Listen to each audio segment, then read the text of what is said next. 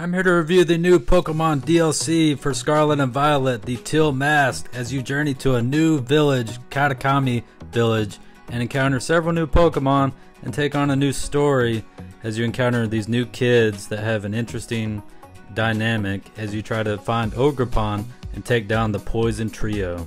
This is pretty fun. Having said that, this game totally chugs again. It's very glitchy yet again, but it's fun, albeit it only takes about five hours to get through the story as you go back and forth and talk with these kids and battle them and such and such.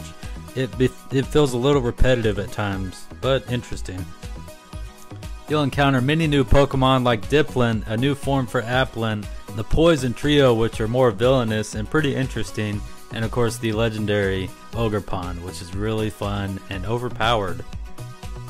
Overall, this DLC is pretty interesting but short lived, and it really got me into the competitive scene once again as I started to find myself building teams and caring about different team compositions. This kind of re inspired me to play more and more Scarlet and Violet, so I guess that's a good thing. Overall, this is an 8 out of 10, guys. Not perfect, but check it out.